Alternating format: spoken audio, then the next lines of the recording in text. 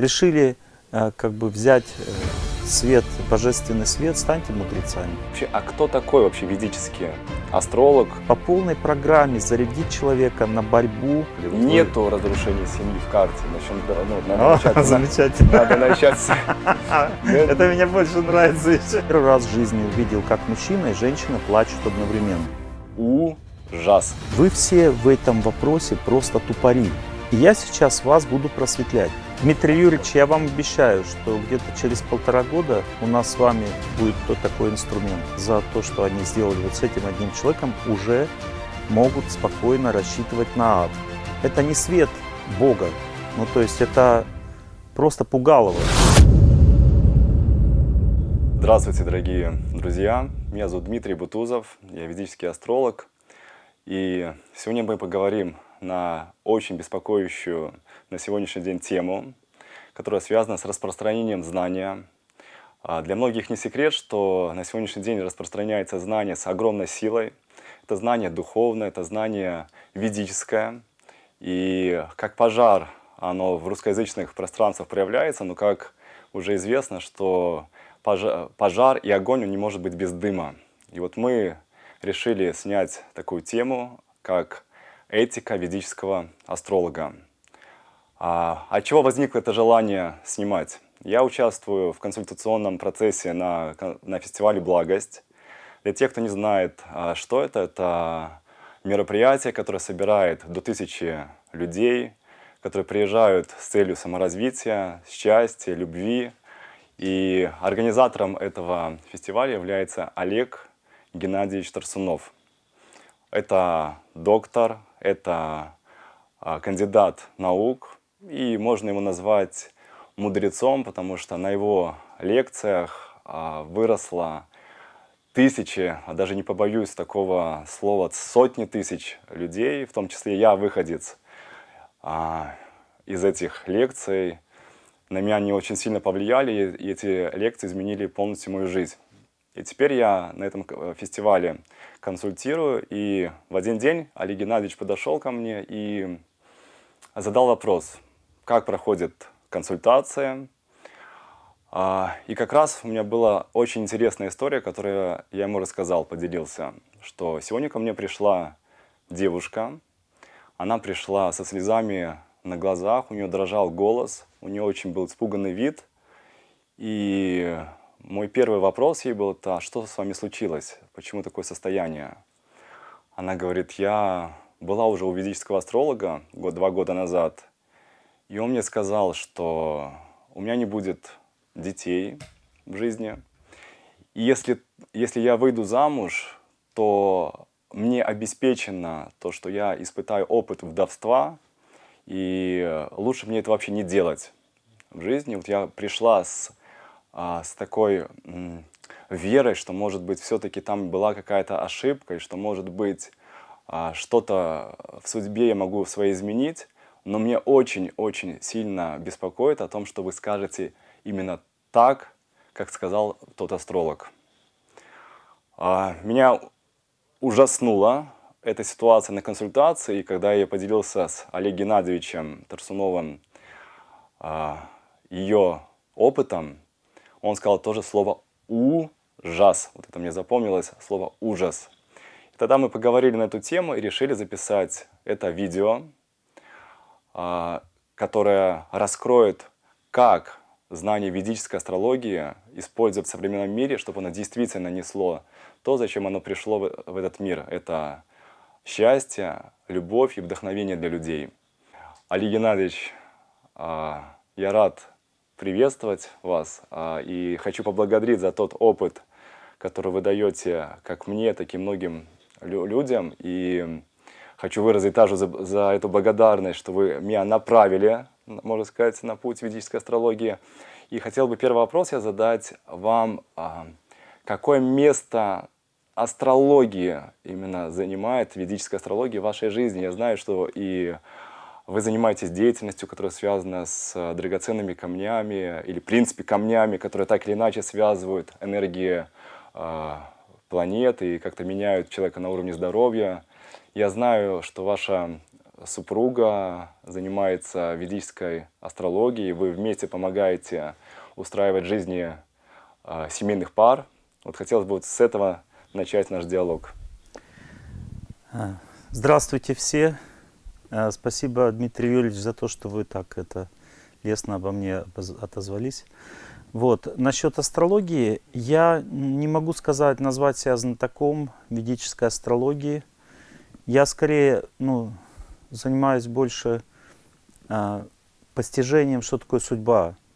Ну, то есть я, я занимаюсь тем, что, как бы, как можно назвать, мистик, допустим, человек, который медитирует на планеты, на их свойства, см смотрит, как они отражаются на человеке, на его жизни. Без этого вообще невозможно читать лекции по семейной жизни, потому что люди э, спрашивают о своей жизни, о своей судьбе, и говорить это просто ну, чисто теоретически для меня это сложно, потому что люди спрашивают конкретные вещи, почему у меня так происходит. Я думаю, что я чувствую, какие периоды в жизни человека идут.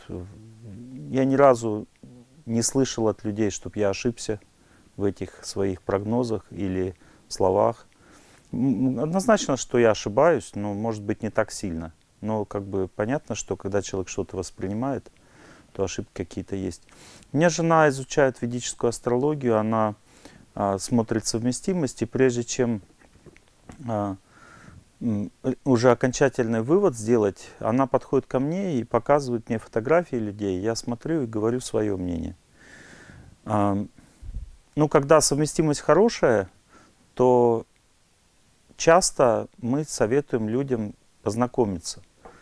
Но даже в этих случаях видно, что люди, скорее всего, не будут вместе или не будут знакомиться. Или бывает так, что совместимость очень хорошая, но то ли накладываются вот какие-то транзиты, то есть какие-то периоды у людей. Ну, я просто говорю, что эти люди сейчас не будут иметь никаких отношений, не смогут иметь отношений. Ну, то есть чаще всего так оно и происходит. Иногда, когда я вижу, что у них могут быть хорошие отношения, даже в этом случае они не знакомятся. Ну, то есть полностью прогнозировать чисто по моим ощущениям или по карте, что люди будут вместе, я считаю, для меня, для моей супруги это просто невозможно. Вот. Но иногда бывает, наши прогнозы, они при, приводят То есть вы объединили усилия, да. Э, такие легкие знания астрологии супруги и ваше глубокое видение. А у нее тоже нормально. У нее нормальные знания именно в астрологии совместимости. Она mm-hmm. чисто там со специализируется. Вот. У меня, я как бы, я не хочу оценивать свои знания. Я еще раз повторяю, я как бы просто поставил целью помогать людям, и все, что мне нужно для этого, я использую. Ну, то есть это и понимание психологии семейных отношений, и понимание, что такое судьба, ход времени там и так далее. Угу. Ну, примерно так. Я сейчас предлагаю э, запустить обсуждение, вот именно начнем, начать с того, что, чтобы раскрыть тему вообще, а кто такой вообще ведический астролог, кто это такой, что это за личность была в ведические времена, и как э, в современном мире сейчас э, это, эту адаптировать, как бы вот образ этой личности, адекватно адаптировать, кто это такой астролог ведический именно в современном мире. Вот я предлагаю вам это начать. Ну, я, я как бы не буду своими словами говорить. Mm-hmm. Я этот вопрос задал а, очень великому, я, я, ну, как бы без привлечения, великому человеку. Этот человек, он является санскритологом известным. И он м, комментатор многих священных писаний. Его зовут Гопирандхана Прабу. Ну, то есть, я когда жил во Вриндаване, в Индии, я общался с ним. Мы с ним были хорошо знакомы, потому что у него русскоязычная жена, и мы с ней вообще просто дружили. И она э, познакомила меня с ним, и я, один из моих вопросов был к нему, это вопрос о том, кто такой ведический астролог. И он сказал, что у ведического астролога должно быть две квалификации. Одна квалификация – это глубокое понимание карты – вернее, три квалификации, он сказал. Вторая квалификация – это видение хода времени, то есть он должен мистическим возможностями владеть. И, и третья квалификация, он должен быть э, человеком, который находится на уровне дхармы. То есть уровень дхармы означает святость фактически. То есть человек должен жить святую жизнь, возвышенную, чистую жизнь, для того, чтобы понимать вот эти глубокие процессы судьбы, которые происходят в жизни. И он привел пример, а, реальное событие, которое происходило 500 лет назад, когда Шичтани Махапрабху пришел а, к одному астрологу в Новодвипе, и тот, посмотрев его карту, сказал о его прошлой жизни. И тогда Шичтани Махапрабху сказал а, о том, что он знает о своей прошлой жизни. И тогда тот мудрец сел в медитацию, и в медитации, после медитации еще раз описал его судьбу в прошлой жизни и принес ему свои поклоны. Ну, то есть, вот примерно вот так. Но как бы, что касается современности, то я считаю, что есть вещи, которые можно, в принципе, рассказывать людям, не обязательно обладая ну, такими, ну, такими достояниями, даже не способностями, а достояниями, которые я перечислил сейчас. Это в какой период жизни человек живет сейчас, вот какой период, как на него сейчас действуют планеты, это можно сказать. Какая-то полезная информация. Это, да? мне кажется, достаточно просто сделать. Ну, то есть я думаю, что это не будет опасность какую-то нести. То есть, в принципе, это несложно сказать, в какой период и, и сколько примерно он продлится, а, человек живет. Потом дальше описать как-то его характер, можно с помощью карты, я думаю, несложно. Вот. Потом примерно сказать, э, какие отношения его ждут в семье, какие опасности, вот, какие опасности в его жизни могут быть, какие опасности связаны со здоровьем. Вот. Но я могу сказать абсолютно точно, это опыт моей 30-летней практики, вот, что астролог не имеет права, особенно современный астролог, не давать никаких точных предсказаний. Это я, мое глубокое убеждение, потому что для того, чтобы это делать, надо разобраться в одном важном вопросе. Взаимодействии свободы выбора человека с картой, с его, ну, с его картой его судьбы. Другими словами, когда, если человек не понимает, вот в чем заключается свобода выбора, и дает точные предсказания на будущее, говорит, вот в такое-то время там вы помрете, или у вас горит дом. Это, это то, что я слышал, я, я не выдумываю. вот. Это уже ну, из разряда шарлатанства, то есть это мое мнение. А мы еще коснемся этой темы. Спасибо, что уже ее затронули. Мы глубже, это, мне кажется, основа сегодняшнего диалога будет. Я хотел бы э, выделить -то этому особый, особый промежуток времени. Угу. А то, что наблюдаем мы, изучая даже труды по астрологии, которые, нам, которые у нас остались на сегодняшний момент, это даже как мудрец Парашара в своем труде, Брихат Парашара Хурашастра, он начинает с того, что он прославляет Бога. То есть прежде всего он прославляет Бога, и потом, потом его ученик Майтрея, а, он вопрошает о том, чтобы Парашара рассказал ему знания, и а, Парашара, имея вот это сознание а, помочь, то есть у него в, в душе чувств, ну, чувствуется в его словах, что если это знание принесет благо миру, то тогда я тебе сейчас расскажу, я поведу тебе это знание. То есть мы видим, что кто такой был ведический астролог. То есть в первую очередь это богоцентричное сознание у человека было. И во вторую очередь это человек, который хотел любым своим действием нести благо этому миру. Даже просто передача знаний своему ученику, он думал не только о том, что он сейчас передает эти знания, а думал о том, чтобы это знание принесло благо всему мирозданию.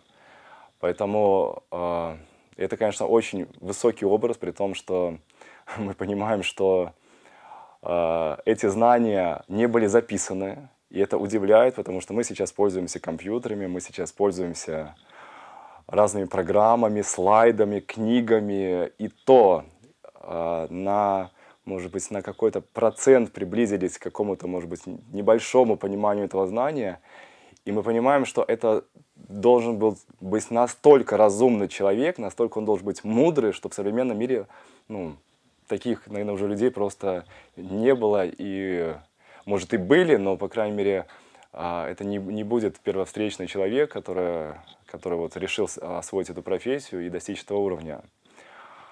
А в то же время наблюдая, то есть у нас а, школа уже где-то больше, несколько тысяч уже мы а, отучили учеников, которые так или иначе соприкасались с ведической астрологией. Есть сотни человек, которые уже решили стать на этот путь.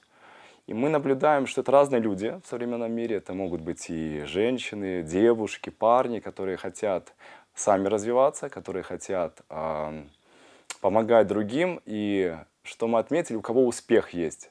Это в первую очередь то, что человек должен ставить на первую очередь э, духовную практику, то есть это как бы основа должна быть, э, э, чтобы он разбирался прежде всего э, не просто в самих техниках астрологии, а чтобы понимал, как устроен этот мир на всех уровнях, и с позиции духовного, и с позиции, может быть, каких-то даже сфер психологии. То есть это, это тоже это наш, одна из наших сейчас рекомендаций, что мы хотим, чтобы наши ученики, они изучали, изучали психологию, такую именно духовно ориентированную психологию, которая будет помогать им не только разбираться в техниках, но а, в совокупности, имея духовный опыт, имея духовные знания и применяя техники психологии, они будут вот на этом уровне пытаться, стараться помогать, вот мы это называем стараться помочь, даже не, не помочь, а направить человека ну, в какую-то сторону, которая будет действительно для него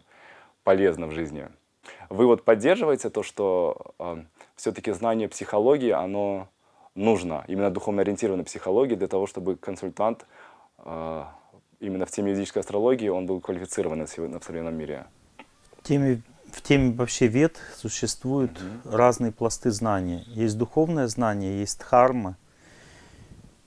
И, а, и есть прикладные ведические науки, такие как аюрведа, астрология, васту там и так далее.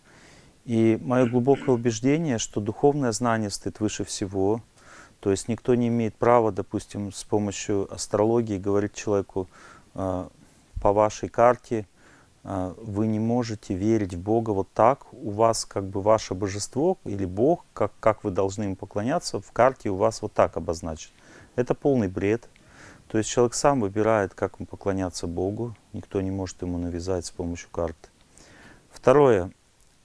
Любое, любые уповеды, они стоят ниже дхармы. Уповеды означают вот веда, астрология там и так далее. То есть они стоят ниже дхармы. Другими словами, что такое дхарма? Это знание, это фактически религиозные принципы. Например, человек не может согласно карте астрологической сказать, что вы, вам, вам без мяса невозможно жить, или что вам надо бросить свою жену, или он не может сказать, что э, человек должен совершить какую-то ложь, э, или э, начать выпивать, допустим, просто потому, что ему это суждено по жизни, по гороскопу как бы.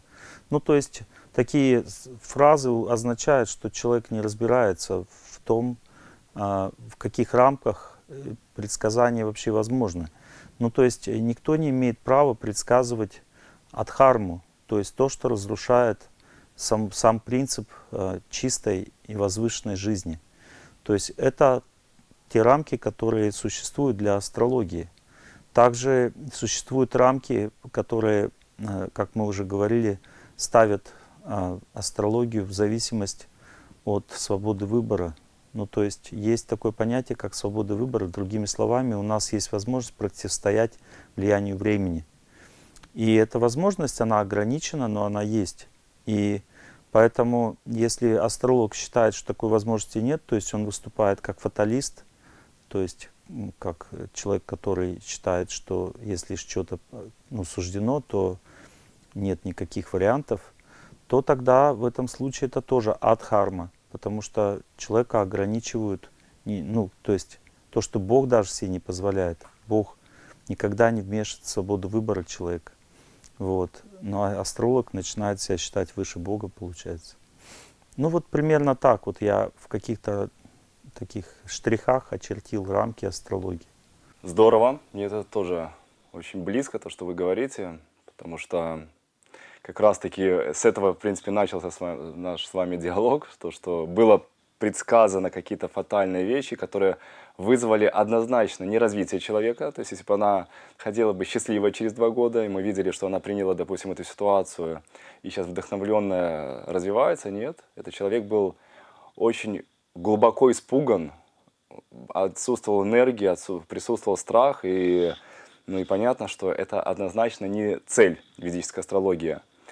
И вот тогда хотелось бы вот этот вопрос затронуть, а что такое цель вообще, цель самой ведической астрологии? То есть если мы берем то знание, которое является как бы даже сама, ну, конечно, а, наш учитель Санджай Радх, он, конечно, наш ругает, когда мы вообще говорим астрологии, мы просто как-то сейчас пытаемся, чтобы это видео были, они более общедоступны, чтобы могли их слушать э, не только астрологи, но и, может быть, те люди, которые хотят как-то узнать что-то за знание, поэтому мы используем это слово. Изначально мы изучаем джиотиша, то есть джиоти — это свет, иша — это Бог. То есть это изначально, изначально знание, которое называется то, что э, это свет Бога в нашей жизни, то есть это, это то, что дает увидеть, то есть это свет, который дает увидеть нам нашу жизнь.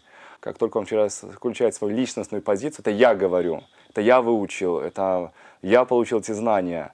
В этот момент он отворачивает от себя девятый дом, он отворачивает себя, от, себя, от себя Бога. Если мы даже сейчас рассмотрим натальную карту, девятый дом – это дом религии, дом, дом, где у нас проявляются духовные учителя, восьмой дом – это дом как раз-таки оккультных знаний, где у нас проецируется джотиша. И, и восьмой дом находится в доме потерь от девятого. То есть это означает, что, он, то, что человек, как только сосредотачивается, что это он, он сразу же потерян для своей духовной жизни. Ну, я хочу дополнить, э, как бы вы сказали какие-то фундаментальные принципы, а, для чего нужна консультация. Я хочу, для чего нужна астрология, да. Я, ну, в данном случае мы прикладываем астрологию к человеку, означает консультация. Ну, то есть я считаю, что консультация астрологическая нужна для того, чтобы э, с помощью знания о влиянии о ходе времени вдохновить человека – побеждать свою судьбу. Ну, то есть, вот еще раз повторяю, очень важный фактор именно вдохновения. Поэтому я говорю людям, если вы вышли с консультации астролога, и при этом вы напуганы, или у вас внутри в сердце ощущение сильного препятствия, сильного штопора, сильного чувства, что как бы ваша жизнь вошла, зашла в какой-то тупик, это означает, что вы имеете дело с неквалифицированным человеком. То есть, с другой стороны, если вы ходите с консультацией астролога вдохновленный, чувствуете, что есть объем работы какой-то, но вы можете его преодолеть с помощью знания, которые вы на этой консультации получили, с помощью э, в целом тех советов, которые вы получили, то тогда это означает, что вы имели дело с квалифицированным человеком, и астрология в его руках живая, то есть она дает свои божественные, ну, как бы вот эти имена. Вот, понимаете, то есть было сказано, что человек должен соприкоснуться со светом Бога, не с энергией времени, понимаете, можно же гасить энергией времени человека, там, ты там осенью помрешь, а, платье, э, там, зимнее пальто можешь не покупать там и так далее. Понимаете, то есть это, а, это не свет Бога, ну то есть это просто пугалово. То есть, если человек этим пугаловым занимается, то он, ему надо просто фейс разбить, разбить по-русски за это, потому что он портит народ, потому что люди же верят, и они потом будут думать всю жизнь об этом. Ну, то есть, другими словами, если говорить практично, то астролог не имеет права сказать что-либо вообще человеку, не имея в своем сознании – формулы преодоления этого. Ну, то есть, если ну, человек, видя карту, что-то знает о человеке, если он не знает, как сделать так, чтобы человек мог это победить, то тогда нечего и говорить. Потому что если человек говорит что-то, что он не знает, как преодолеть этому человеку, то он обрекает просто этого человека в десятки раз больше на то, что это может произойти, чем если бы это произошло. Ну, то есть, другими словами, это все равно, что как бы, ну, допустим, ну, человеку, допустим, грозит расстрел, да, и ты просто берешь пистолет, и он грозит ему через три месяца, допустим. Ты берешь и сразу его убиваешь. Говоришь, ну какая разница, сейчас или потом? Разницы никакой нет. Ну, примерно так. Ну, то есть ты просто лишаешь человека дальнейшей жизни, потому что жить с таким пониманием, что ты через там полгода помрешь, вот, невозможно. Ни один человек нормально жить не будет. Ну, то есть я, это, это опыт мо моих отношений. То есть э, человек говорит, в десятом году мне говорит, э, как бы в двенадцатом году будет конец света. Я говорю, я в это не верю. И человек говорит мне, вы в это не верите, ну значит вы два года проживете в иллюзии. Я говорю, нет, два года я проживу в состоянии счастья, а вы два года не проживете. Потому что если вы уже точно знаете, что через два года э, у вас будет конец света в вашей жизни, то у вас не будет никаких двух лет. А я буду жить классно, не зная об этом. Вот так мы с ним поговорили. Нам э, наш еще один из учителей наших, Висти Ларсон, он как раз-таки вдохновение ставил на первое место, что консультация астролога – это в, перв, в первую очередь вдохновение. То есть это цель. Вообще, вот если сейчас взять цель ведической астрологии, это счастье. То есть мы, если мы берем то есть знание, знание Богом дано было для чего? Чтобы мы поняли, как нам быть счастливым. Есть, и, и понятно, что счастье бывает на разных уровнях. Счастье в гуне невежества, ну тут не надо вообще быть э, знающим, то есть это просто надо жить без знаний, тогда вообще никуда не ходить. Счастье в гуне страсти, и вот с этого уже начинается, уже для любого уровня счастья в знании, ой, в страсти уже надо знание, даже просто пойти выучиться в университете, чтобы зарабатывать денег. И чем лучше образование, тем больше перспектив в деньгах. То есть это, это само собой. Если, и на этом уровне тоже может астрология помочь. То есть человек приходит и говорит, куда мне, где мои таланты проявить, где мне, как мне лучше сейчас свой период, допустим, а, раскрыть с позиции денежного ресурса. Это нормально. Я считаю, что это в каком-то смысле мы можем помогать, особенно если ему даст это веру в знания, и, но сама цель астрологии – это поднять человека на... Вот он приходит с одним запросом, и даже не астрология, это уже скорее цель будет физического астролога. Потому что цель астрология, она не... Ну, как сама, сам Джотиш, он говорит, мы должны ответить на вопрос. А цель физического астролога – это как раз-таки поднять ну, на, на ступенечку выше. Если человек пришел э, и говорит про страсть, то, соответственно, надо что-то ему дать, то, что э, даст ему возможность подумать и о счастье в благости. Если он пришел и говорит о счастье в благости, то, что надо что-то ему сказать, возможно, или направить, то, что поднимет его над, даже над благостью, это шутха сатва, это будет уже счастье духовное во взаимоотношениях с Богом. И, ну и вот как раз-таки, мне кажется, на, на, на мой взгляд, это и есть цель счастья. Можно я как бы mm-hmm. вас попрошу прокомментировать несколько фраз mm-hmm. астрологов, которые имеют большую популярность сейчас в наше mm-hmm. время. Я их лично знаю, вот, но не уважаю за то, что они делают. Ну, один из этих астрологов, читая лекцию, он как бы начал лекцию, то есть для людей, а, и он, а, показывая с, как бы себя как личность, а, ну, сказал слово даже хуже, чем то, что я скажу. Он, он сказал им, вы все в этом вопросе просто тупари. Вот. И я сейчас вас буду просветлять. Как вы прокомментируете? Вот слова великого, так сказать, астролога. Вот эти вот. А, это означает, что он поставил себя в роль учителя, а сама по себе астрология – это позиция ученика. То есть я, уч, я ученик, я прежде всего, а, то, что я здесь перед вами, это способность мне быть учеником своего учителя. Я здесь ну, только передатчик знания. Поэтому, ну, конечно, это, это уже сама по себе демоническая концепция, когда учитель ставит себя в позицию учителя. Я тоже как бы вам скажу, я просто буду, я mm-hmm. знаю, что дальше произошло. Люди многие люди, они пришли на курсы по астрологии к этому человеку, они просто дальше не начали, ну, после этой лекции просто ну, не стали продолжать.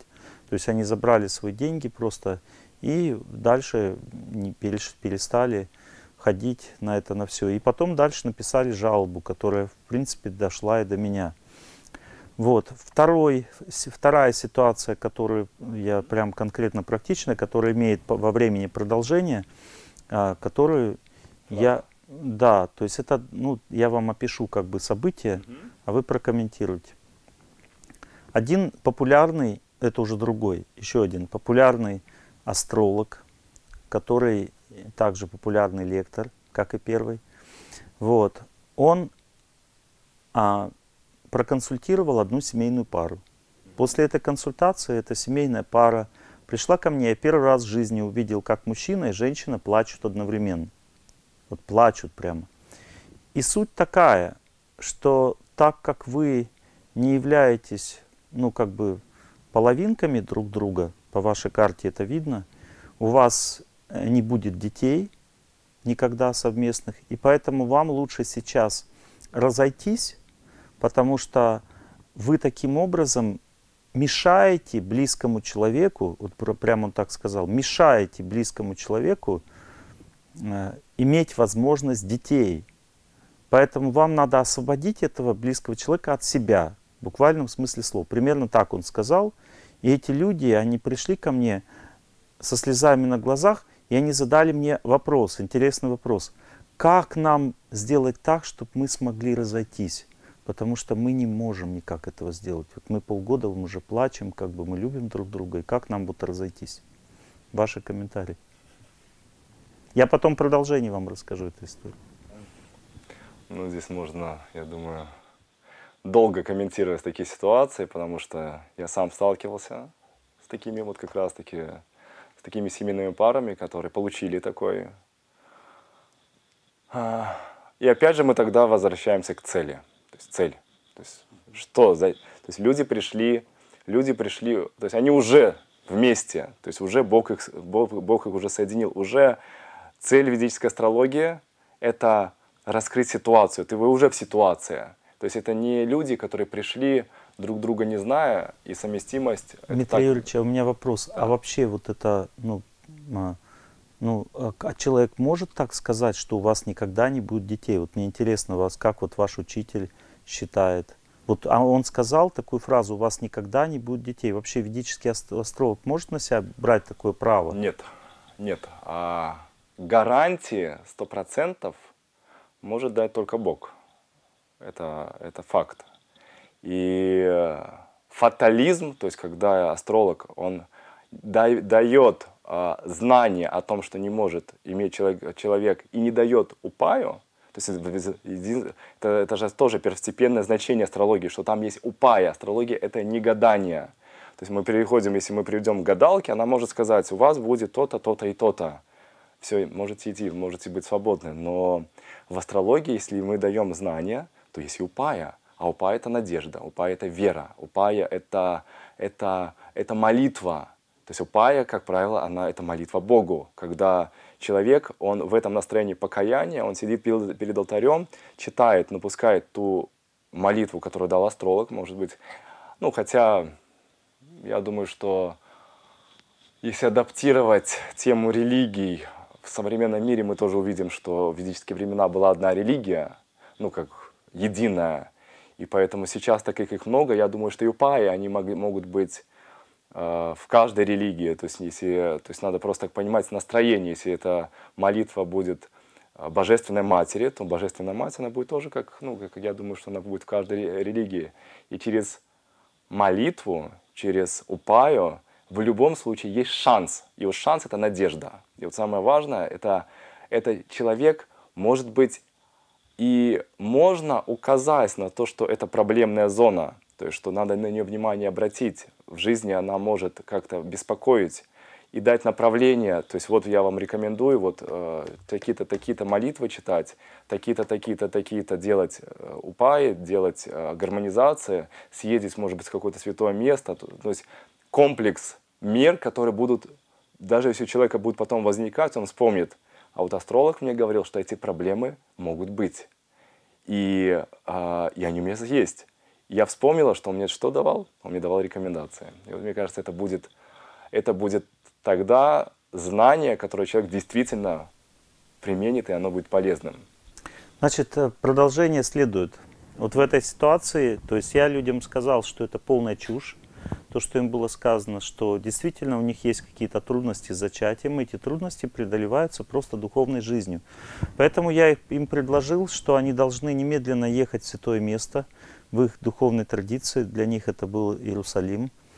И дальше просто молиться Богу, чтобы Бог дал ребенка. Ни, как, ни о каком разлуке, ни о какой как бы бросать друг друга, это просто исключено. Я э, сказал им, что то, что они получили, то знание является ложью, что это был греховный поступок этого человека, который он совершил по отношению к ним, и он за это поступок, несомненно, понесет ответственность перед Богом.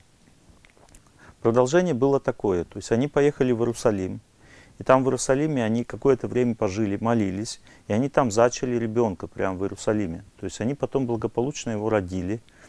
И потом, когда они еще одного ребенка захотели, они поехали в Иерусалим и зачали двойню. То есть получилось в результате, у них, они уже через пять лет с тремя детьми ко мне подошли, поблагодарили, сказали, что спасибо вам большое, как бы у нас все нормально теперь. Слава Богу. Вот. Следующий случай. Ваш комментарий, а потом я расскажу дальше судьбу человека. Значит, это было... Девушка пришла, молодая девушка, ей было тогда 22 года примерно. Она пришла к э, ведическому астрологу, и тот ей сказал, что у ней будет два брака. И вот с этими, как так сказать, мыслями она познакомилась потом со своим будущим мужем и передала ему эту инфо. Ну, а до этого у нее браков не было. Это означает, что ей придется с этим человеком расстаться. Ваши комментарии. Ну, мне кажется, это из одной, из одной серии. Это из одной все серии, когда... Это даже ситуация произошла с одним из моих знакомых. И даже, я думаю, и вы его хорошо он у вас работал. Ну а как бы вы вот сказали, если бы вы видели вот возможность разрушения семьи как бы в карте, как бы вы это назвали? Вот Нету вы... разрушения семьи в карте. Начнем, ну, надо О, начать. Замечательно. Надо начать с... Это мне больше нравится еще. Надо начать с этого, надо начать с этого, что разрушения в семье, в карте нет. Это поэтому в Индии 1% развода все представляете? Потому что... Откуда пошла астрология из Потому Индии? что у нас в карте могут быть трудности в отношениях, которые будет человек испытывать. И в современном мире, то есть так как у нас вообще есть склонность разводиться, а если мы возьмем, так как вы привели сейчас э, Индию, то там нету вообще, ну как, нету идеи вообще, что человек может развестись. Он будет, его будут бить, избивать, не знаю, что там, зубы выбивать, э, там, безответственность проявлять. То есть человек все равно будет принимать свой долг, свою дхарму и пытаться понять, для чего сейчас ему эта ситуация и как ему, ну как бы качественно а, пройти эту ситуацию, сохранив именно и свое внутреннее состояние и удовлетворение счастья, и в то же время сохранив дхарму, потому что дхарма, а, дхарма – это оставаться в семье. И поэтому есть сложности, действительно, то есть мы ну, как бы не будем отрицать, что сложности есть. Есть, есть тяжелая тха, карма в, в супружеской жизни, но, но тяжелая это означает, что ее можно преодолевать. И означает, что и она, то есть и и для этого и нужны будут там сложные периоды, которые должна астролог обозначить, что у вас будет сложный период, вот вам методы гармонизации, и обратите внимание, то есть даже, даже сложно, я, я даже иногда боюсь этого слова сложный период, потому что иногда человек, люди теряют даже вдохновение уже даже от этого. Просто когда ты им говоришь сложный период, у них все. Я, я, я сейчас даже более такую терминологию для себя выбрал период, на который вам стоит особо обратить внимание. То есть и вот это... Да, хорошо. И вот это... А, они их включают все равно в это. То есть вот вам сейчас а, миссия вашего периода это, чтобы вы обратили внимание на супружескую жизнь и для вас будет много уроков, которые вам надо пройти. И вот вам, то есть уроки, миссия, период, на который обратить внимание, это те термины, которые не пугают человека, и они сохраняют вдохновение, даже он вдохновлен сейчас действовать, потому что э, он находится тогда в позиции сам ученика в жизни. То есть ему дали не трудности, ему показали не трудности, то, что Бог, он такой вот злой, сейчас создал там какую-то негативную карму, а ему показали возможности. Ну, продолжение этой истории печальное, то есть девушка прожила какое-то время с этим человеком, потом дальше она, ну, начались тяжелые, начался тяжелый период, или как период, на который надо обратить внимание – ну, то есть этот период, несомненно, начался, потому что в карте есть, он начнется. Вот. И когда он начался, отношения стали ну, тяжелее, чем раньше. И девушка сходила к двум астрологам ведическим, и они ей оба сказали, причем это оба известных были астрологи, астрологов, они оба ей сказали, что как бы, ну вот видишь, как бы у тебя два брака в карте, что делать? придется тебе разводиться. Ну, то есть они ей помогли, так сказать, преодолеть этот период, в кавычках. Вот, она бросила мужа, нашла себе другого человека, прожила с ним несколько лет, и там тоже развалилась семья. В результате ей пришлось выйти замуж третий раз. Ну, то есть получается, что ведические астрологи ошиблись. Получается, у человека три брака – произошло, а я считаю, что эти астрологи только за эти вот, вот эти все три астролога, за, только за, за то, что они сделали вот с этим одним человеком, уже могут спокойно рассчитывать на ад. Потому что они в какой-то степени разрушили судьбу нескольких человек. Судьбы нескольких человек они разрушили просто одним вот этим тупым, как по, по моему мнению, советом. Потому что эта девушка преспокойно могла сохранить свою семью первую, и на этом все бы закончилось у них. Есть еще один интересный случай, который, с которым я столкнулся а, в Риге. Я уже не буду вас спрашивать, мы, в принципе, это тот же самый, как бы идея та же самая. Один э, астролог сказал, э, я не, не знаю точно ведический или нет, сказал э, э, одной паре, что у них три брака – у них был первый у обоих. Вот. А, интересно произошла их жизнь, потому что я знаю ну, на продолжении 10 лет как бы их судьбу примерно. Вот. А, они расставались два раза и сходились. И причем они расставались, разводясь. То есть они ставили шамп, штампы о разводе в паспорте и потом сходились. То есть они, у них было три брака друг с другом. На этом все закончилось. Вот такая история. Ну, то есть, фактически у них был один брак, если бы они вот эту тупость не поверили, которую им сказал астролог, то они просто бы, как бы, сходились, расходились, и все, и, ну, у них был бы один брак, ничего бы они не разводились бы. Это может даже быть не тупость, это может быть то, что у них не хватило просто знаний. То есть есть в, астролог... в астрологии есть, э, есть Э, возможность посчитать количество супружеств, но есть возможность и проверить, а может быть, может быть ли вообще первый супруг вторым супругом, а может ли второй быть третьим супругом. И вот еще один из таких моментов, а есть же астрологи, которые рекомендуют, когда все сложно, а, перейти, как бы здесь развестись, а жениться заново. И вот наш учитель, он э, как бы против этой рекомендации, потому да, что, потому что если если там это не соединяется, то они могут развестись и не жениться. И не жениться. И это может даже за месяц это там, или сколько у них там, неделя, или по закону там, я не знаю, даже может быть там сколько там, полгода дается, у них по судьбе может реально быть развод. То есть это, то есть оно должно соединиться, и только в том случае, когда оно соединяется, можно там как-то, если это там, ну, там облегчит чуть-чуть, то надо смотреть, если оно облегчит, то, может быть, такая рекомендация, она еще допустима. Но это очень-очень аккуратный момент. Поэтому, мне кажется, это просто не хватило, не хватило знаний, и, и это, это разрушение. Поэтому здесь еще вот этот вот момент всплывает, а может быть, у тебя просто не хватает знаний. Это надо, ну, это надо, и не может их, а их, скорее всего, точно не хватает. Потому что Мы понимаем, мы сейчас почему начали с образа ведического астролога, с этого мудреца, который обладал тем разумом, который может без компьютеров,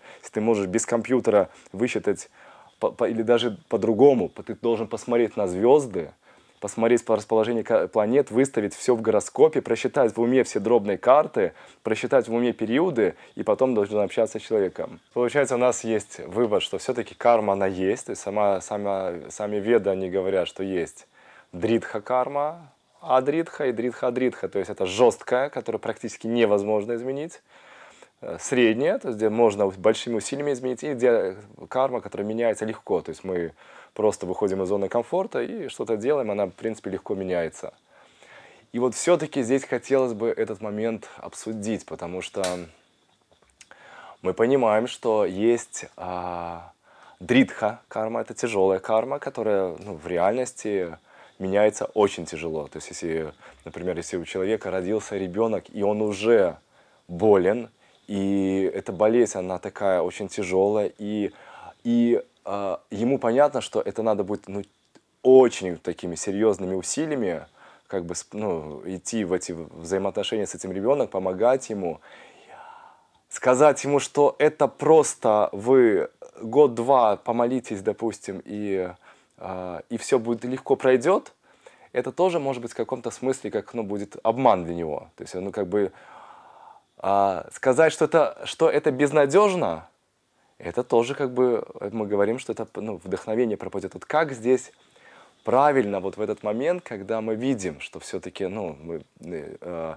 хорошо, мы ну, чувствуем ситуацию, она уже пришла. Иногда бывает, человек приходит не, не даже не с позиции предсказательной, она уже пришла, и ты понимаешь, что тяжела, ситуация ну, тяжелая, что ее... Ну, я считаю, что здесь есть два принципиально разных момента. Один момент это когда ситуация еще не пришла, и она непреодолимая, очень тяжелая. Мы никогда ни человеку не должны говорить ни к чего обреченного, потому что в этом случае мы просто лишаем его возможности побороться. Вот. Ну, то есть а когда пришла уже? Вот как а когда, а как, вот в этом случае, когда очень тяжелая еще не пришла, нужно человека настраивать на очень серьезную духовную жизнь, на серьезную молитву, потому что я думаю, что современный астролог не сможет понять степень тяжести. Он может понять, что тяжелое, но насколько тяжелое, я думаю, современный астролог вряд ли поймет.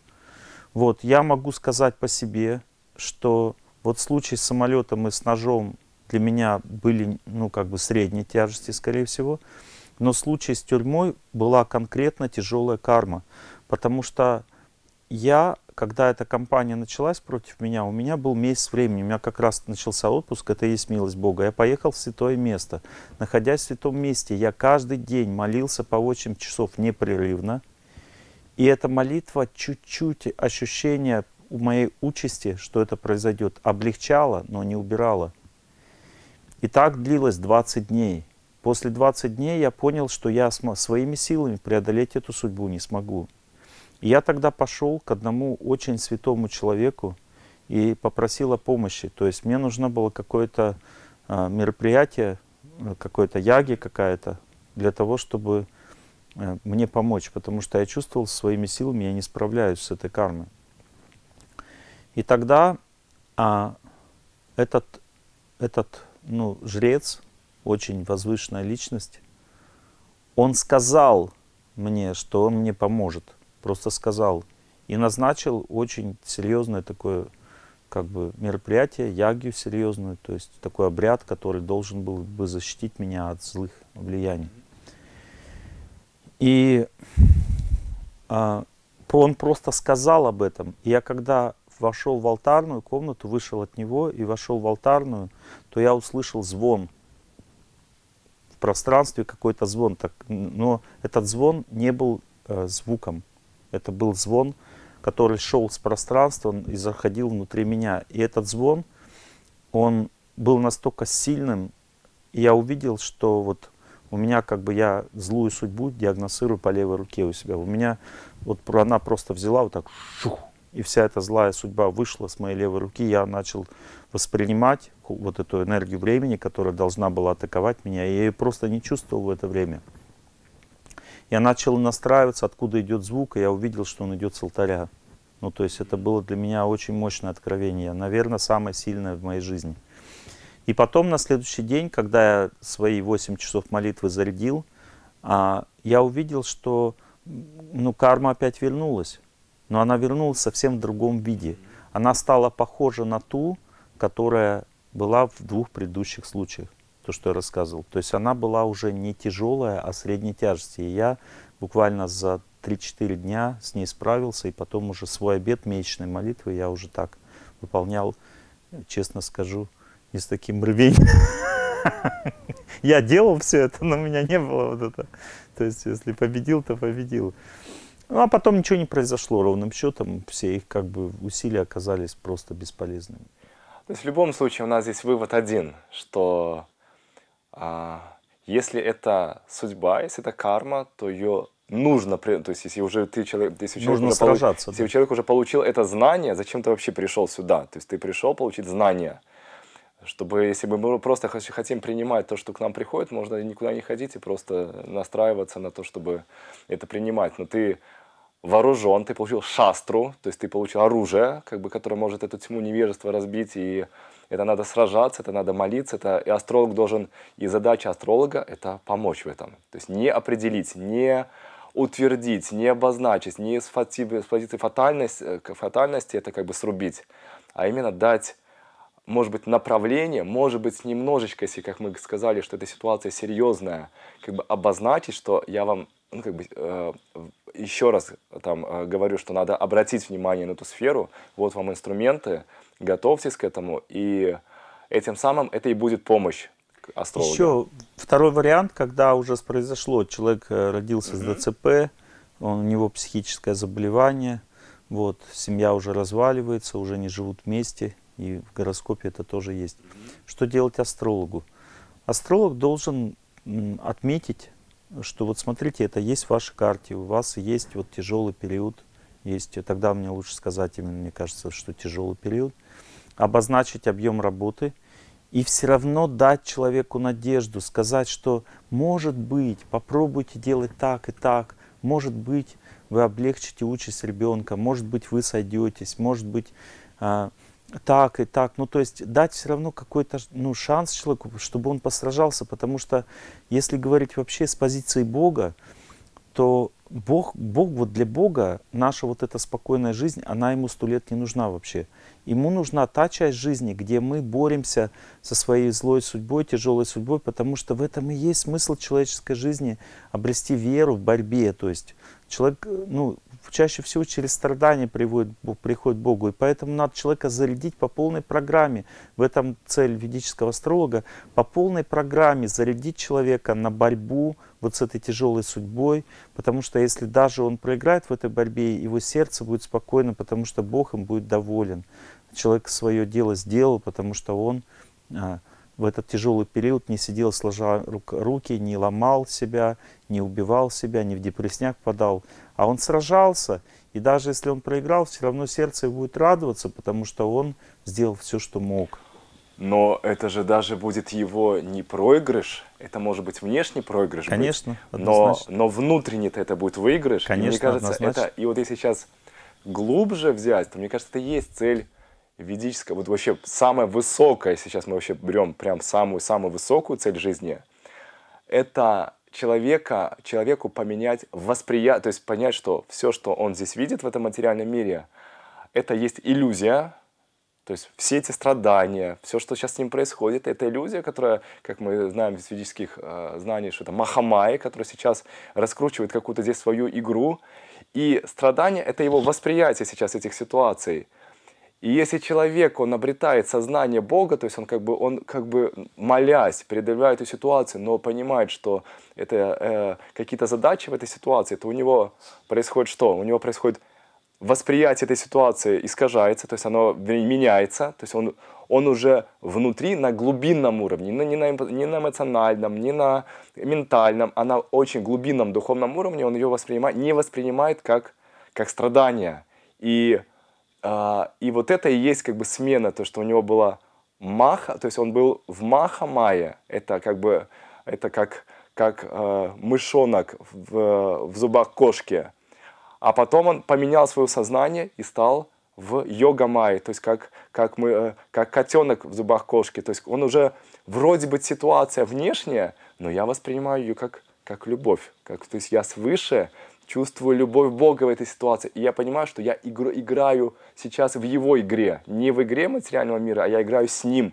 И пускай даже как Иисуса Христа, Он сейчас, ну, как бы воля Бога проявилась, то, что Он его поставил ну, в какую-то сложную ситуацию, но мы не можем сказать, что Иисус Христос был в этой ситуации несчастлив, что Он ее воспринимал. Он воспринимал ее как миссию, как, как возможность послужить Богу и всему этому человечеству.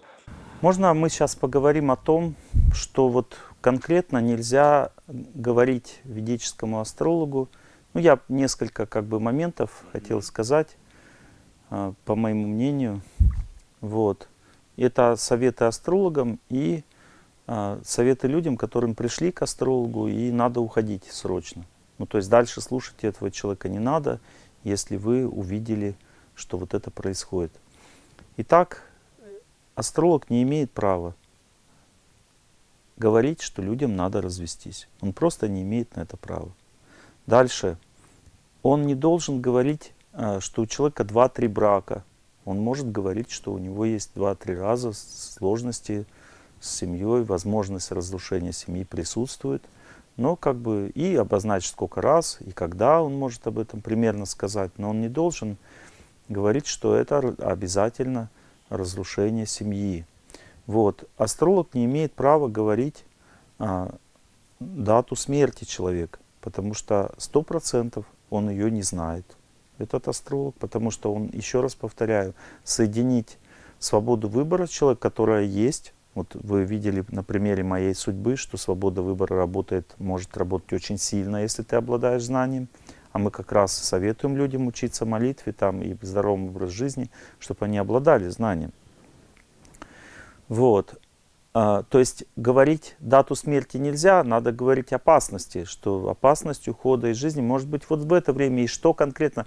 И еще что нельзя делать астрологу, нельзя говорить что-либо вообще, не посоветовав, как с этим быть. Ну, то есть, если он сказал что-то, он должен теперь э, кучу мероприятий как бы назначить для того, чтобы это преодолеть. Иначе зачем вообще об этом говорить? Ну, то есть, человек, когда видит трудности, не знает, что с ним делать, он обречен на погибель. Вот. Потому что само видение трудностей, еще раз повторяю, оно может усугубить ситуацию. Ну, то есть, бывает так, что человек не видит трудность и как-то легче с ней справляется, потому что он не знает, насколько это опасно, чем если он видит и обречен. То есть, это как э, ну, лягушка, которая прыгает сама э, в рот кудаву, потому что думает, какой ужас, какой ужас, и как бы и сама прыгает туда, разобраться, какой же это ужас на самом деле, и попадает в пасть. Я просто практически конкретно говорю вещи. То есть человеку нельзя говорить, что он никогда не вылечится. Это неправильно, потому что человек должен стараться вылечиться. В этом смысл жизни вообще. Ну, то есть, если человек никогда не вылечится, зачем тогда лечиться? Вот, и зачем стараться? Вот. Вообще слово «никогда» и конкретные даты как бы э, ставить на то, что вот это в это время произойдет, это неправильно. Ну, то есть э, нельзя быть богом астрологу, он должен быть просто слугой и говорить предположения свои. А, но вот советовать, когда лучше, допустим, жениться, хорошо. А, люди, допустим, могут в это время или не могут, ничего страшного. И говорят, если не сможете, ничего страшного, но лучше вот в это время, допустим, вам а, пожениться, обвенчаться, там, допустим, лучше в это время зачинать детей, но не только в это время. Еще, кстати, очень важно, еще одна проблема, которую я встретил в своей жизни. Ко мне несколько раз подходили супружеские пары, которые уже не смогли зачать детей, то просто потому, что они много лет следовали советам ведического астролога, которым назначал всего две даты зачатия за год. Но так как у людей вообще в целом как бы очень трудность большая с зачатием, они ну, фактически э, зачинали детей два раза в год, и лишали себя возможности зачинать другое время. Я, когда ко мне люди подходят с такими вот двумя датами в год, я им говорю, вот привожу пример этих супружеских пар и говорю, если хотите остаться без детей, тогда следуйте этим советам. Ну, то есть, если ведический астролог дает какие-то советы, он должен учитывать знание медицины о том, что лучше всего зачатие происходит в момент овуляции. Он должен примерно понимать, когда овуляции. Он должен давать людям возможности зачинать чаще и не обращать на периоды, а, которые есть у женщины, если ей уже 40. Ну, то есть э, ведический астролог говорит, «А, вы знаете, вам надо подождать 3 года, и потом пробовать зачинать. А и 40 уже. Ты посмотри на человека, ты же в карте видишь возраст, какие 3 года. То есть она должна пробовать как можно быстрее зачинать, потому что через 3 года у ней может вообще климакс наступить. Вот, это я как врач уже говорю. Ну, то есть э, вот это все бездарность, э, которая разрушает потом людей жизнь. И самое большое, получается, самое тяжелое событие в жизни человека, это то, что он сходил к этому астрологу. Если бы не ходил, жизнь была бы намного легче. Вот. Ну, то есть, это примерно какие моменты, то есть, что нельзя. То есть, э, и в целом, если, вот в целом общий совет такой, нельзя советовать аборты, тоже потому что, как бы, ведический астролог смотрит в карту, говорит, у вас родится урод, поэтому лучше сделать аборт. Во-первых, э, он не решает, кто родится, это решает УЗИ. Вот и даже если там действительно ребенок больной, то родитель все равно решает. Может, они хотят сидеть с этим ребенком всю жизнь, и в этом как бы они видят смысл своей жизни. Но то есть все равно они выбирают, а не ты. Как бы, что им делать? То есть ты, ты просто можешь сказать, а, что надо обследоваться пойти. То есть ты даже не можешь диагноз поставить просто по карте. Ты должен... Это, кстати, еще один момент. По карте нельзя ставить диагнозы человеку. Можно просто посоветовать обследоваться в этой области, и пускай врачи ставят диагнозы. Вот. И если в целом вы, вы вышли от астролога ведического напуганным, почувствовали, что вам как бы закрыли краник вашей жизни, жизненной энергии, это значит, что вы имеете дело с неквалифицированным человеком, и воспринимать серьезно все, что он сказал, не стоит. Потому что ну, если человек не квалифицированный, значит, он просто навредил вам. И вообще, если вас астролог начинает пугать, просто конкретно говорить, что у вас ничего хорошего в жизни не будет, у вас крест одиночества в карте там стоит. Кстати, вот эти тоже запомните слова. Крест одиночества, а, у вас как бы а, на вас а, крест бесплодия там какой-то или еще что-то. Вот эти все вот как бы слова, запомните, это все признак того, что у человека немножко шизофреническое мышление, то есть он маловероятно, что он может реально понимать ход времени, как течет э, в судьбе. Вот, ничего это не надо верить этому, слушать. Вот, и если вам, вам закрыли краник вашей жизненной энергии, вы вышли от астролога и чувствуете, что как бы вы жить дальше не можете, потому что что-то произошло ужасное, то знайте, что вас просто обманули. Это вот мои как бы рекомендации а, при контакте с астрологом и также рекомендации астрологам, которые хотят как бы людям помогать. Еще раз повторяю, помогать именно, да? Мы услышали это слово, а не вредить. То вот такие вот советы. Мне очень вдохновило, как вы сказали, что давать свободу выбора. То есть выбор – это как раз-таки то, с чего начинается понимание, что на свободу выбора не посягает даже Бог. То есть Он дает даже нам свободу выбора. И если мы даже почитаем Бхагавадгиту, как, как в конце, да, то есть он дал знания, Арджуна, поступай как, как знаешь. То есть это астролог может направить, показать, может быть, какой-то, ну, какой-то, задать, может быть, направление и сказать, что это ваш выбор. То есть это, это как вот влево, на, как в сказках, налево пойдешь вот это, направо пойдешь вот это, напрямо пойдешь вот это, сделай свой выбор. То есть это как бы твой будет, твой в жизни выбор. Если пойдешь туда, вот такие рекомендации, туда такие рекомендации. Это, это мне кажется, суть. А, это суть вот этого нашей, нашего как бы подвода, вывода с позиции того, что каким должен быть ведический астролог, как, как он должен консультировать. И еще есть очень важный момент, то что сейчас время, когда это знание приобретает а, такую как бы силу, в плане, в плане оно становится, оно, оно распространяется с огромной силой сейчас в современном мире, мире.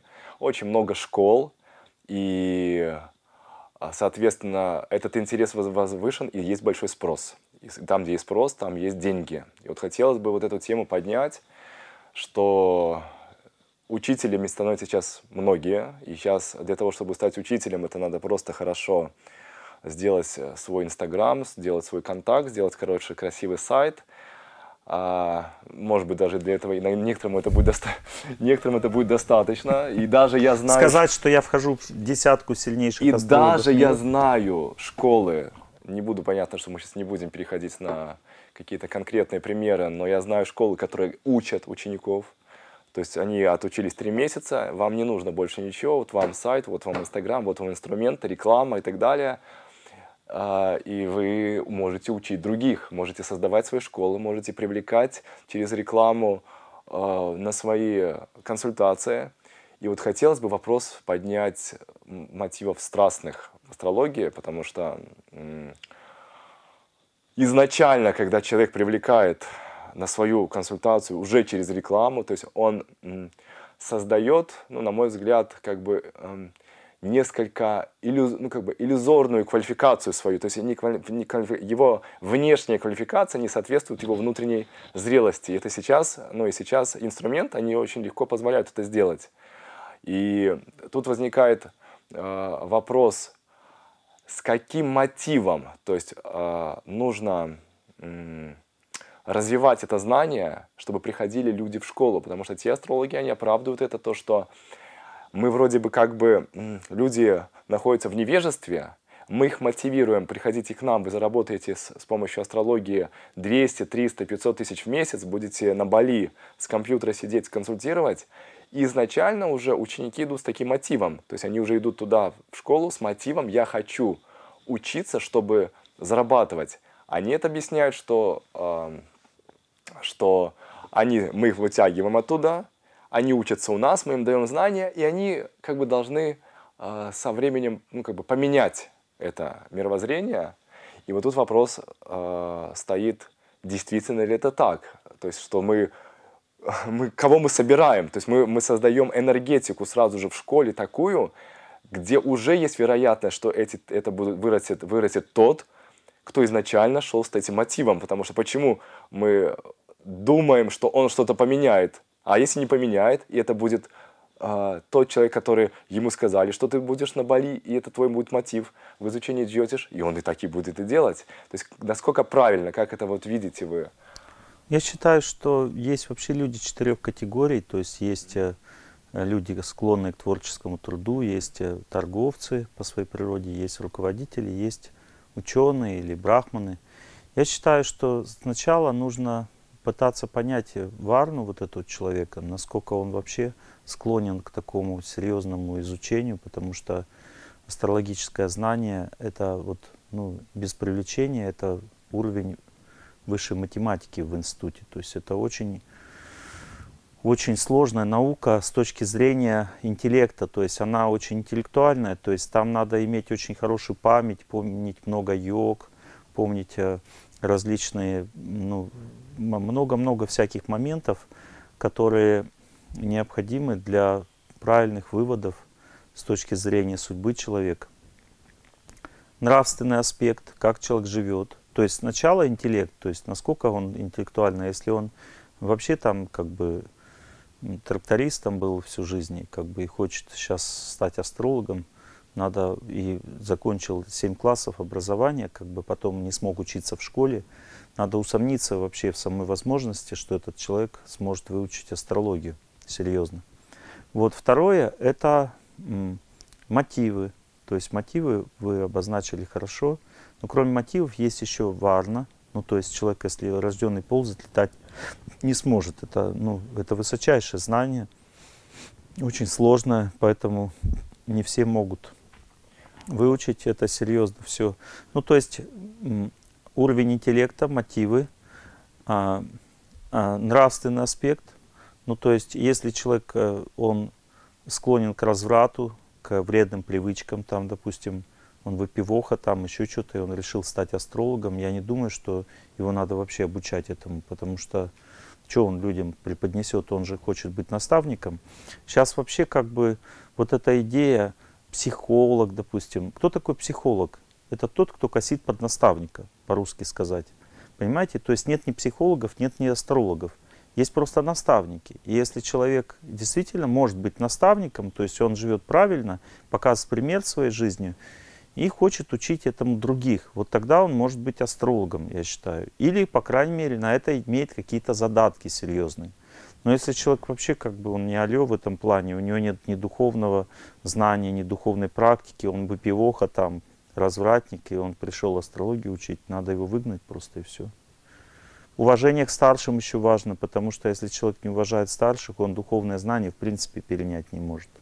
Ну вот примерно такие моменты. А да, то, что мы видим, то, что мы наблюдаем, мы, мы стараемся, то есть вот, допустим, как в нашей академии есть фильтр четкий, собеседование он называется. Собеседование — это первый момент, и у нас есть правило, то, что мы не, когда э, мы кого-то приглашаем, мы говорим, для чего это знание. То есть человек должен делать, сделать, человек должен понимать, что это знание, которое поможет вам разобраться в себе. Это так, это так. Это знание, которое, которое поможет разобраться вам в ваших близких поможет понять глубже себя, может быть, где-то себя как бы найти именно в первую очередь астрологами реально, реально, если у нас там, ну, допустим, вот в прошлом году, наверное, 160 у нас было, человек училось, именно уже на профессиональном курсе, из них цель астрологов реально стать, может быть, только 5%. Ну, тогда надо 5, знать, 5%, но люди... Тогда но надо люди... разделить образование. То есть есть образование, просто общее образование астрологии, а есть э, а, допустим, вот как, допустим, люди учатся в институте, не все получают диплом врача, так и здесь тоже а, возможность консультировать должна быть дана только тем, кто имеет на это квалификацию. Так и есть, так и угу. есть, потому что, во-первых, у нас то знание, которое уже а, для консультации, оно секретное, это знание в традиции, мы его не можем отдавать вот так вот просто. То есть есть курс за год, то есть мы, во-первых, фильтрацию делаем на начальном уровне, и за год те люди, которые понимают, что им это неинтересно, что они не хотят дальше, им хватит. И некоторым они говорят, все, мне за год вы дали очень много, я поняла себя. То есть то, что я хотела от астрологии, я получила. Идти дальше на профессиональный как бы, какой-то курс, я, может быть, у меня нет желания. И это фильтрация. То есть если вначале было 160, то, как правило, до того профессионального курса доходит, ну, может быть, человек 30, 40, которые 50, может быть. Да, мне кажется, нормально. И и вот этот сам по себе подход, когда хотя бы какой-то стоит фильтр, все-таки знание, а, ну как бы мы, почему вначале в общий доступ, потому что оно все-таки помогает. То есть оно... Я думаю, оно... что в школе, я думаю, что еще, я не знаю, как у вас, но я просто советую, думаю, что в школе должно быть так же, а, так же как в медицине, потому что это лечение, ну как лечение это тоже, лечение души, лечение психики человека. Ну, то есть должно быть право отзыва лицензии или вот человеку дают, допустим, право консультировать, а, он прошел курсы и а, ну, как бы жалобы, определенные расследования этих жалоб должны давать право также отзывать эту квалификацию, иметь право консультировать. То есть ну, это, это такое, право, уже такое, как ассоциация такая уже, как, а, как ну, уже... Ну, я как бы считаю, mm-hmm. что так должно быть, по идее, потому что ну, если мы имеем дело с очень опасным знанием, то как в медицине? Нет, оно не очень опасно, оно, знаете, как, это как, как нож. То есть это знание, как вот мы с Анжарадха тоже задавали этот вопрос, это опасное знание? Он говорит, нож, нож это тоже опасное оружие, но вначале в какие, в какие руки он попал. Ну вот есть... поэтому есть, существует в медицине, допустим, врач, он, его, его диплом могут отозвать. Ну то есть он может реально перестать быть врачом. И это, ну, как бы это реально... Это вот то, что мы тогда с вами начали уже обсуждать про ассоциацию. То есть есть... Надо э, к этому есть идти, это, да. это как бы та ассоциация астрологов, у которой есть цели. Есть цели установить какие-то стандарты. Да-да-да. Надо к этому идти. Есть цели э, установить как бы сотрудничество джотишей. И есть цель как бы немножечко дать э, как бы возможность людям защитить, ну как бы вот этой защиты. То есть и я думаю, что раз этот вопрос уже возник, я думаю, что мы будем туда идти. И я могу сказать одно, что вот мы с Дмитрием Юрьевичем точно как бы будем вот как делать. Мы, если вы хотите, мы можем просто ну, организовать такую идею, что мы будем советовать вам, каким астрологам обращаться просто и все. Мы просто можем с вами начать сотрудничать в этом плане, и вы мне обозначите вот тех людей, которые а, точно следуют тем принципам, которые мы осветили э, в этом репортаже. И мы можем людям просто советовать, кому идти, а всем остальным уже как бы это ваш выбор. Ну, то есть мы вот можем гарантии давать за вот этих людей.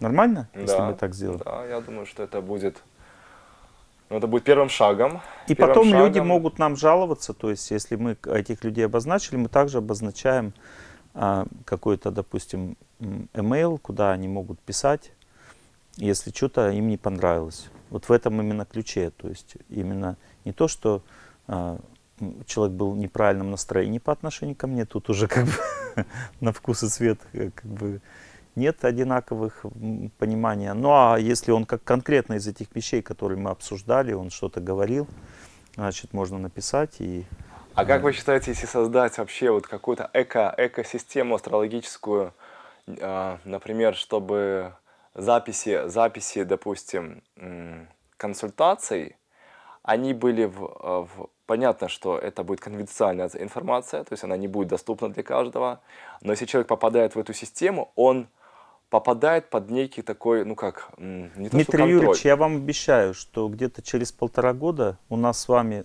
будет то такой инструмент. Я сейчас делаю большой проект, в котором будет также ваше место, если вы захотите, и место ваших э, астрологов, друзей. Мы там дадим защиту людям вот в этом плане, и там как раз у нас будет вот такое хранилище консультаций, куда никто не может залезть, но при необходимости а, люди, которые будут иметь право, ну то есть те же самые астрологи, которые вот следят за качеством, они могут по жалобе зайти туда, в это хранилище, и посмотреть, что именно за консультация была. Да, и все, кто будут консультироваться в нашем пространстве, они будут а, иметь вот та- такую гарантию, что консультации все записываются, откладываются в это хранилище, никто не будет там их смотреть, но при необходимости можно будет сделать разбирательство, если есть жалобы. Здорово. Это, мне кажется, вот это как раз, знаете, такой практичный результат нашего разговора. Знаете, мы можем много еще говорить, что надо, но еще кроме разговоров нужны действия. А сколько А, у нас время, время осталось одна минута. Одна минута. Я бы ее хотел бы все-таки еще вспомнил один момент очень важный в консультации астролога. Это письменные консультации. Насколько применимы, то есть мы сейчас какие-то правила уже как бы проговорили, но письменная консультация, судя вот по тому, что мы сейчас разговаривали, она предусматривает то, что я, я не контактирую с личностью, я не понимаю его настроения, его уровня сознания этой личности. Да, Нас- это бред полный Насколько вообще. вот мы, когда мы поднимаем вопрос консульта, вот есть астрологи, которые я тебе надиктую, Это вообще бред полный. я тебе, я тебе напишу. Я тебя прооперирую на расстоянии. Я знаю, я знаю именитых астрологов, которые взяли, взяли у человека за консультацию тысяча долларов. Да-да-да, я знаю. Тысяча, тоже таких, тысяча да. долларов. Ему дали На вот расстоянии. такой вот, вот такой вот, вот не, Да-да-да. без привлечения, вот такой вот талмуд с набором просто астрологических техник, где я даже, имея как бы какие-то знания в этой области, я, он мне дает, я, я в этом разбирался, наверное, сидел полчаса, я говорю, это бред, я даже не хочу даже ну, читать, это просто набор, набор, набор терминов, которые друг другу противоречат, что ты можешь здесь понять. Да, и самое раз- интересное, что там развод, было... классический и- и- развод. и там было в одном месте как раз-таки указание два развода. То есть, а, и мало того, что это именитый астролог, через которого проходит, у которого советуется на сегодняшний момент, ну, я Через опять- год у нас опять- будет Опять же, пространство. без имен, без имен, но Дмитрий Юрьевич, через год у нас будет пространство, в котором мы все, что вы вот запланировали, мы организуем, я вам обещаю. Мы сейчас очень много сил и средств вкладываем в это. Мы сделаем такое пространство, где люди будут комфортно чувствовать себя и могут получать нормальные консультации психологов и астрологов. И всегда они будут там защищены.